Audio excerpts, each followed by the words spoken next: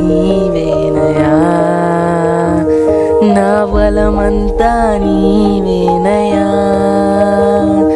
నా బలమంతా నీవేనయా నా బలమంతా నీవేనయా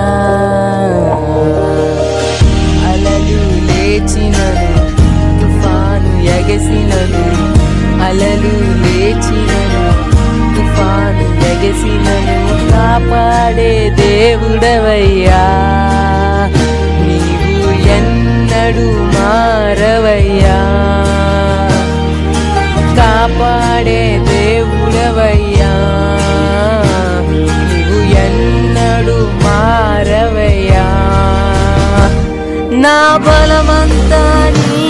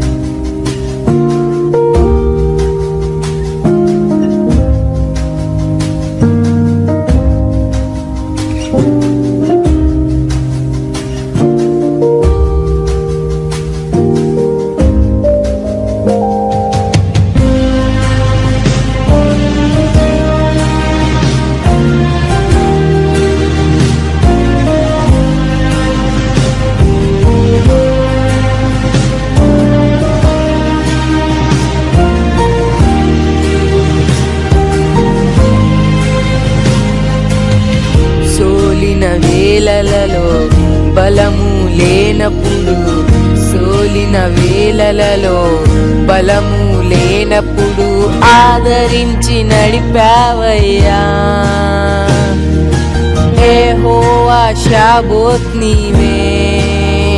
నన్ను ఆదరించి నడిపావయ్యా. ఏ హోవా షాబోత్ నీవే. నా బలమంతా నీ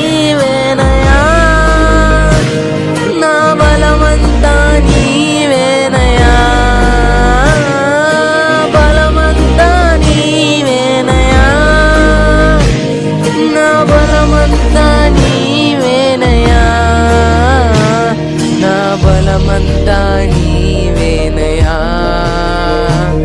నా బలమంతా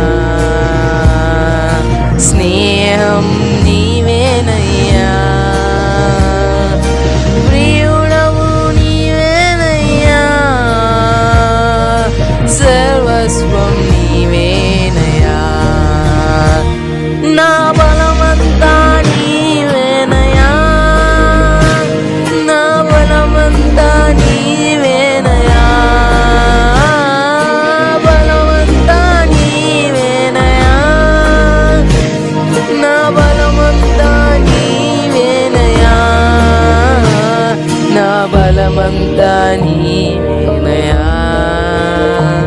నా బలమంతా నీవేనయా బలమంతా నీవేనయా నా బలమంతా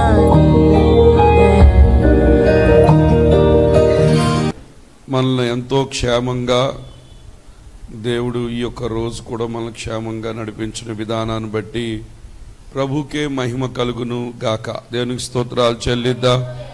హలెలూయ మరి ప్రభు మరి రెండో దినం కూడా కాచి కాపాడి మూడో దినంలోకి దేవుడు మనల్ని ప్రవేశింపచేశారు. ఈ నెలలో మనం విశ్వాసానికి పదును పెట్టాలి విశ్వాసంతో జీవించాలి. విశ్వాసంతోనే మనం నడవాలి. ఎందుకంటే విశ్వాసమే మనకు వెన్నెముక లాంటిది క్రైస్తవులకు. ప్రభువుని నమ్మవలసిన వారమై ఉన్నాం. ప్రభు సన్నిధిలో ఎక్కువగా ప్రభు మీద ఆధారపడి జీవించవలసిన వారమై ఉన్నామని ప్రభు పేట నేను మీకు తెలియపరుస్తూ ఉన్నా. దేనికి స్తోత్రాలు చెల్లిద్దాం. దేవుడు ఈ రోజంతా కూడా ఎంతో క్షేమంగా ఆరోగ్యంగా మనల్ని ఉంచారు. దానిని బట్టి ప్రభుకే మహిమ కలుగును గాక. మంచిదండి మరి నిన్నటి దినాన మనం చూసాం ఆ, దేవుని యొక్క విశ్వాసం we have God's faith you have God's faith దేవుని యొక్క విశ్వాసం మనలో ఉందని. మరి ఆత్మ ఫలము ఆత్మ ఫలము విశ్వాసం అయి ఉందని చూసాం అలాగే ప్రతి వారికి కూడా ఆయన విశ్వాస పరిమాణాన్ని ఇచ్చారని రోమా పన్నెండులో మనం చూసాం అలాగే ఈరోజు ఒక వాక్య భాగం చూడండి. ఎఫీసీలకు రాసిన పత్రిక రెండో అధ్యాయము ఎనిమిది తొమ్మిది వచనాలు నేను చదువుతున్నాను జాగ్రత్తగా. ఎఫ్ఎస్సి సంఘానికి అపోసిన పౌలు రాస్తూ ఉన్నారు. ఎఫ్ఎస్సిలో ఉన్న సంఘానికి పత్రిక రెండో అధ్యాయంలో మీరు విశ్వాసము ద్వారా కృపచేతనే రక్షింపబడి ఉన్నారు. చూసారా? మీరు విశ్వాసము ద్వారా కృపచేతనే రక్ష ఈ విశ్వాసం కూడా కృప ద్వారానే మనం పొందుకోగలుగుతాం. మరి అందరికీ ఆయన ఒక పరిమాణాన్ని పంచి ఇచ్చారు కదా. అది మనం ఏదో గొప్పవారమనో లేకపోతే దేవునికి మనం ఏదో ముఖ్యులమనో కాదు. అందరికీ ఇచ్చారంటే అది కృప వల్లే విశ్వాసం అందరికి కూడా ప్రభు ఒక పరిమాణాన్ని ఇవ్వడం జరిగింది. ఇక్కడ చూస్తే పోసిన పౌలు ఏం చెప్తున్నాడంటే మీరు విశ్వాసము ద్వారా కృపచేతనే రక్షింపబడి ఉన్నారు. ఇది మీ వలన కలిగినది కాదు దేవుని వరమే. విశ్వాసం అనేది కూడా దేవుని యొక్క వరం దేవుని యొక్క వరం. మీరు ఎలా రక్షించబడ్డారు? విశ్వాసం చేత కృప చేత మీరేమయ్యారు? రక్షించబడ్డారు. మీ సొంత కార్యాల వల్ల మీరు రక్షణలోకి రాలేదు. లేకపోతే మీరేదో మంచి నీతిమంతులుగా మంచివారుగా ఈ లోకంలో ఎటువంటి చెడు పనులు చేయకుండా జీవిస్తున్నారు. దానిని బట్టి రక్షణ రాలేదు కానీ ఈ రక్షణ రావడానికి రక్షణ మీరు పొందుకోవడానికి రక్షణ అంటే మరణములో నుంచి జీవంలోకి రావడానికి యుగయుగాలు అగ్నిగుండంలో మీరు ఉండకుండా యుగయుగాలు ప్రభువుతో జీవించడానికి యుగయుగాలు నరకంలో ఉండకుండా యుగయుగాలు ప్రభువుతో పాటు పరలోక రాజ్యంలో ఉండడం కొరకు మరి దేవుడు ఒక ఆత్మను ఆయన ఏం చేశాడు? ఈ లోకానికి ఆయన వచ్చి ఈ లోకంలో రక్తం కార్చి ఈ లోకంలో ఎవరైతే ఆయన ఎందు విశ్వాసం ఉంచుతారో ఎవరైతే ఆయన కృప దగ్గరకు వస్తారో కృప ద్వారా విశ్వాసం ద్వారా ప్రతి వ్యక్తి కూడా ఏమవుతున్నారంట?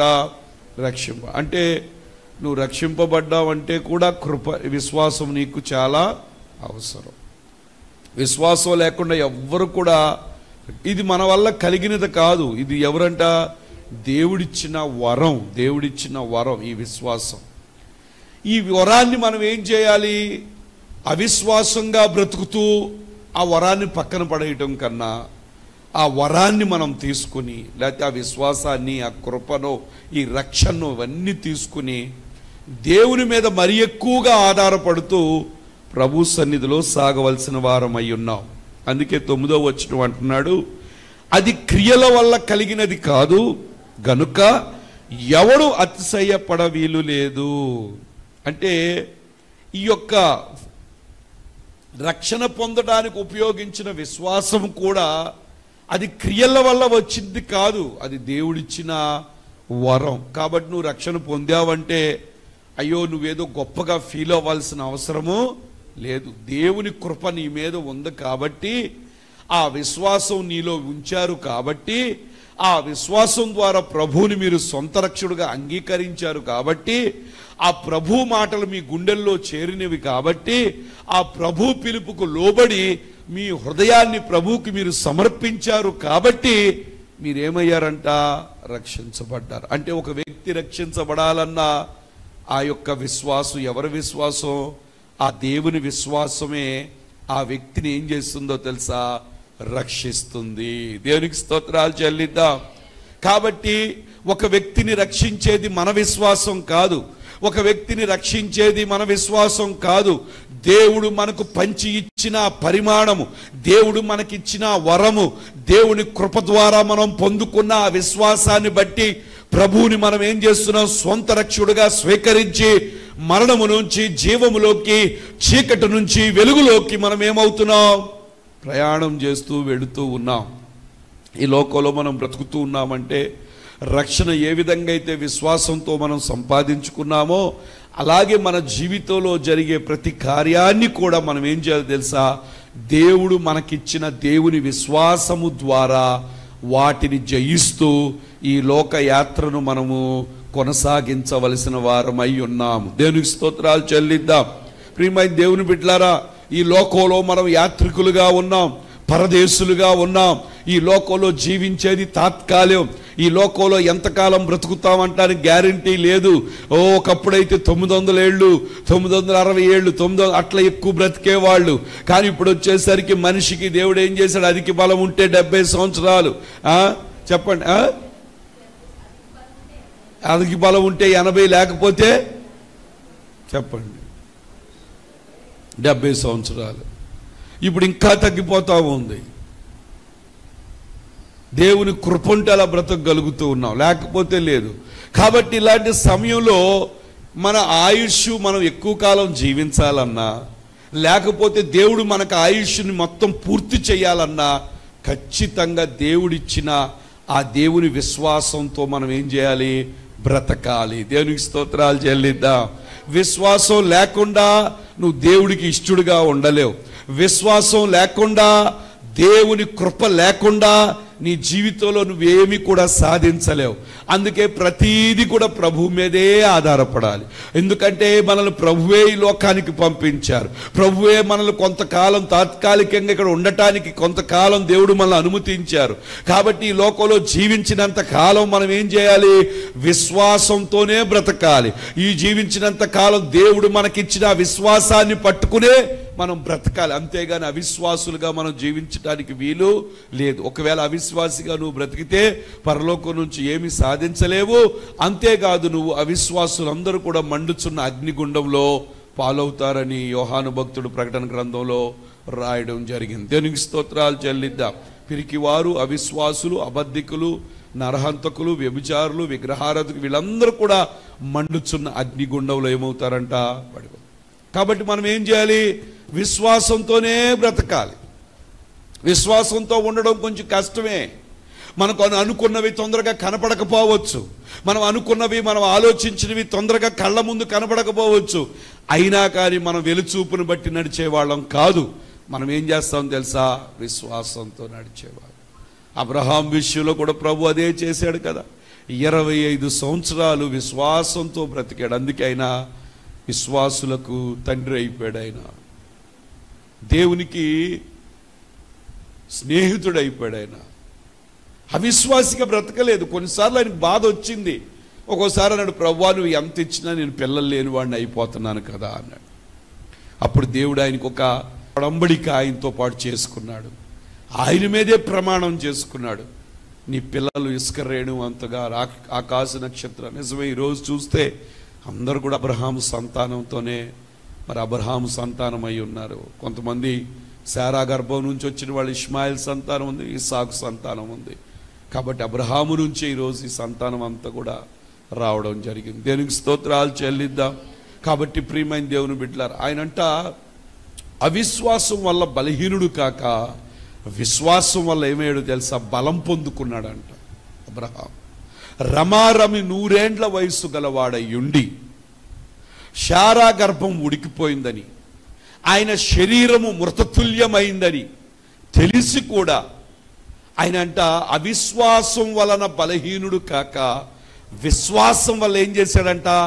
బలం పొందుకున్నాడంట ప్రియమైన దేవుని బిడ్లారా దేవుని యొక్క విశ్వాసం మనలో ఉన్నప్పుడు మనకేమొస్తుందో తెలుసా? బలం వస్తుంది. అవిశ్వాసం ఉన్నప్పుడు దుఃఖము ఏడుపు లేకపోతే చాలా వేదన కలత వస్తుంది కలత కలత. అబ్రహాము గుడారోలో ఉన్నప్పుడు కలత పొందాడు. అబ్రహామును గుడారోలోంచి బయటికి తీసుకొచ్చి ఆకాశ నక్షత్రాలు ఇవన్నీ చూపించినప్పుడు ఆయనలో ఉన్న కలత పోయి ఆయనలో ఏమొచ్చింది? విశ్వాసం పెరిగింది. దేవునికి స్తోత్రాలు చెల్లిద్దాం. కాబట్టి మనం అవిశ్వాసులు కాదు. మన పేరు విశ్వాసులు. కాబట్టి మన జీవితంలో ఏముండాలి విశ్వాసం ఉండాలి. ఖచ్చితంగా. ఎలాంటి పరిస్థితి గుండా మనం వెళుతున్నా మన దేవుడు ఖచ్చితంగా నా పరిస్థితి నుంచి ఆయన తప్పిస్తాడు. ఎందుకంటే నా దేవుడు నాలో ఆయన విశ్వాసాన్ని ఉంచాడు.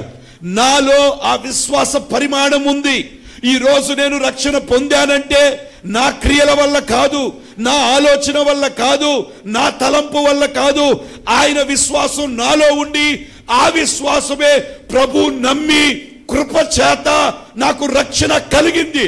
కాబట్టి కృప చేత నాకు విశ్వాసం చేత రక్షణ నాకు వచ్చిందంటే అదే కృప చేత అదే విశ్వాసం చేత నా పరిస్థితులను కూడా ప్రభువు మారుస్తాడు. హల్లెలూయా. హల్లెలూయా.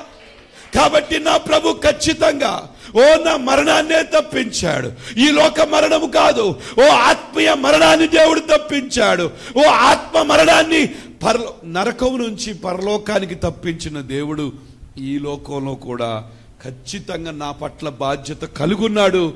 ఆయన నాకు సహాయము. ఈ రోగం నన్నేమి చేయదు. ఈ పరిస్థితి నన్నేమి చేయదు. నా ప్రభు నాతో ఉన్నాడు. నా ప్రభు నాతో ఉన్నాడు. నాలో ప్రభు యొక్క విశ్వాసం ఉంది. దేవుని విశ్వాసమే నాలో పెట్టాడు ఆయన. నా ఆత్మలో పెట్టాడు. కాబట్టి ఆ విశ్వాసం ద్వారా నా జీవితం బాగుపడుద్దు కానీ నేను పాడవను. ఆ విశ్వాసం నన్ను బాగుపరుచుద్ది. ఆ విశ్వాసం నన్ను లేవనెత్తుద్ది అని మనం నమ్మాలి. దేనికి స్తోత్రాలు చెల్లిద్దాం? హల్లెలూయా! అందుకే అపోసిన పౌలు చెప్తున్నాడు అయ్యా మీరు విశ్వాసం ద్వారా కృపచేత మీరేమయ్యారు? ఆ విశ్వాసం మీ వల్ల కలిగింది కాదు.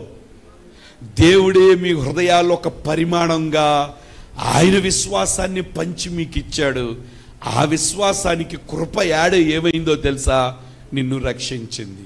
అదే విశ్వాసానికి కృప యాడయ్యి నీ యొక్క రోగాన్ని తగ్గిస్తుంది. అదే విశ్వాసానికి కృప యాడ్ అంటే కృప కలిసి కృప కలిసి ఖచ్చితంగా మీ రోగాన్ని బాగు చేస్తుంది. అదే విశ్వాసానికి మీ కృప కలిసి ఏ దేవుని కృప కలిసి ఏం చేస్తుంది తెలుసా? మీ పరిస్థితులు మార్చుద్ది. కాబట్టి మనం ఏం చేయాలో తెలుసా? అవిశ్వాసులుగా మాట్లాడడానికి వీల్లేదు. అవిశ్వాసంగా చూడటానికి వీల్లేదు. పరిస్థితుల వైపు మనం చూడటానికి వీల్లేదు. పరిస్థితుల వైపు మనం చూడటానికి వీల్లేదు. పరిస్థితుల వైపు మనం గమనించడానికి వీల్లేదు. కాబట్టి మనం ఏం చేయాలి తెలుసా? ప్రభు వైపే మనం చూడవలసిన వారమై ఉన్నాం. దేవునికి స్తోత్రాలు చెల్లిద్దాం. హాలెలూయా కాబట్టి it's gift from God faith that use the salvation. దేవుడిచ్చిన ఆ విశ్వాసము చేత కృప కలిసి ఏం చేసిందో తెలుసా? ఆ కృపే మనకి ఏం చేసిందో తెలుసా? విశ్వాసాన్ని ఇచ్చింది. ఆ కృప లేకపోతే ఆ విశ్వాసం మనకి లేదు. ఆ కృప విశ్వాసాన్ని ఇచ్చి మనల్ని రక్షించింది. అదేవిధంగా మన జీవితాల్లో అనేక విషయాల్లో ఇదే కృప ఆ విశ్వాసం ద్వారా మనల్ని ఏం చేస్తుందో తెలుసా? ప్రతి పరిస్థితి నుంచి మనలను తప్పిస్తుంది. దేవునికి స్తోత్రాలు చెల్లిద్దాం. కాబట్టి మనం ఏం చేయాలో తెలుసా? కృప వెంబడి కృపను పొందుకోవాలి. కృప వెంబడి కృపను పొందుకోవాలి. కృప వెంబడి కృపను పొందుకోవాలి. ఎప్పుడైతే కృపలో మనం సాగుతూ ఉంటే మనలో ఉన్న విశ్వాసం కూడా ఏమవుతుందో తెలుసా? పనిచేయటం ప్రారంభిస్తుంది. ఆ యొక్క కృపా విశ్వాసం ఎక్కడ పొందుకుంటాం? చూడండి ఒకసారి మీరు ఎలా పొందుకుంటాము? How you will get faith అని చూస్తే రోమిల్కి రాసిన పత్రిక పదో అధ్యాయం పదిహేడో వచ్చిన అనుకోవచ్చు పాస్టర్ గారు నిజంగా ఈ విశ్వాసము కృపతో కలిసి మమ్మల్ని రక్షిస్తుందంటే ఈ విశ్వాసము ఈ కృప కలిసి నా రోగాలను తగ్గిస్తుంది. ఈ విశ్వాసం ఈ కృప కలిసి ఈ నెలలో నన్ను నడిపిస్తుంది. ఈ విశ్వాసం ఈ కృప కలిసి నా అవసరతలను తీర్చుద్ది. ఈ విశ్వాసం ఈ కృప కలిసి నా జీవితాన్ని అనేకుల ముందు తలగా ఉంచుద్ది. కాబట్టి ఈ కృప నాకు కావాలి ఈ విశ్వాసం కావాలంటే ఏం చేయాలి? రోమిలకు రాసిన పత్రిక పదో అధ్యాయం పదిహేడో వచ్చిన కాగా వినుట వల్ల ఏం కలుగుతుంది?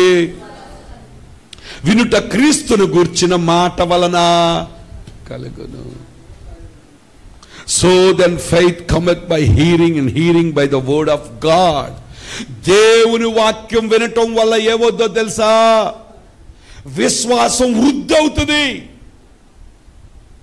దేవుని వాక్యం చదవడం ద్వారా దేవుని వాక్యం వినటం ద్వారా నీ మీద దేవుని కృప వస్తుంది.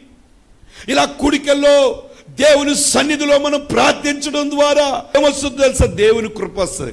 ఎస్తేర్ గ్రంథంలో ఒక విషయం ఏంటో తెలుసా?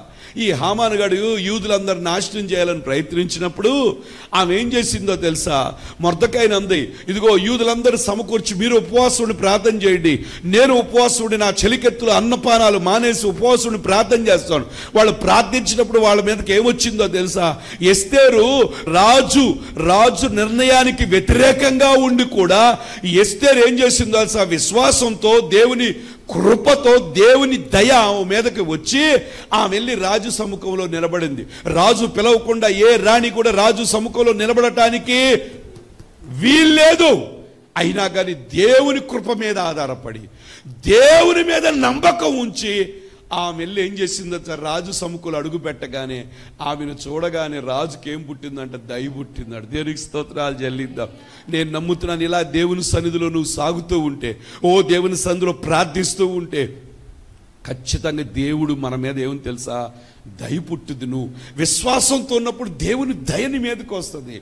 ఆ కృప కింద ఉన్నప్పుడు దేవుని దయని మీదకి వస్తుంది. అందుకే దేవుని వాక్యం నువ్వు చదవాలి. నువ్వు చదువుతూ ఉన్నప్పుడు నీలో విశ్వాసం పెరుగుతూ ఉంటుంది. నువ్వు చదువుతున్నప్పుడు దేవుని కృప యాక్టివేట్ అవుతూ ఉంటుంది. ఎందుకంటే దేవుని కృపే నీకు విశ్వాసాన్ని ఇచ్చింది కాబట్టి ఆ యొక్క విశ్వాసం పెరిగే కొందుకి దేవుని కృప కూడా యాక్టివేట్ అయ్యి నీ జీవితంలో ఏదైతే నువ్వు సాధించకుండా ఉన్నావో అదేమవుతుందో తెలుసా నువ్వు? సాధించగలుగుతావు. ఆ కృప ఆ విశ్వాసం ఏం చేస్తుందో తెలుసా? దాన్ని చేసి పెట్టి నీకు చూపిస్తుంది. దేవునికి స్తోత్రాలు చేయలేదు. అందుకే వినుడి ద్వారా ఏం కలుగుద్దంట? లోక మాటలు వింటే లోక మాటల మీద విశ్వాసం పెరిగిపోతుంది.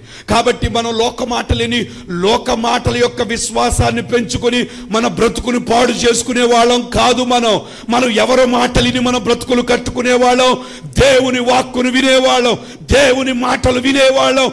దేవుని కృపకు పాత్రులు మనం. ఎప్పుడైతే దేవుని మాటలు వింటూ ఉన్నావో దేవుని వాక్యాన్ని వింటూ ఉన్నావో దేవుని వాక్యాన్ని చదువుతూ ఉన్నావో దేవుని వాక్యాన్ని ఎప్పుడైతే నీ గుండెల్లో నువ్వు పెట్టుకుంటూ ఉన్నావో దేవుని వాక్యాన్ని ఎప్పుడైతే నువ్వు పలుకుతూ ఉన్నావో నీలో విశ్వాసం వృద్ధి చెంది దేవుని కృప చేత ఆ యొక్క కార్యాలన్నీ నువ్వు పొందగలుగుతావు. హల్లెలూయా. ఈరోజు చాలా మంది దేవుని కార్యాలు పొందకపోవడం కారణం ఏంటో తెలుసా? వాళ్ళల్లో విశ్వాసం లేదు. వాళ్ళు రోగాన్ని ఎక్కువగా చూస్తారు. వారి బాధల్ని ఎక్కువగా చూస్తారు. దేవుని కృప కన్నా దేవుని విశ్వాసానికన్నా వాళ్ళల్లో నాటబడిన దేవుని విశ్వాస పరిమాణం కన్నా వాళ్ళు ఏం చూస్తున్నారో తెలుసా?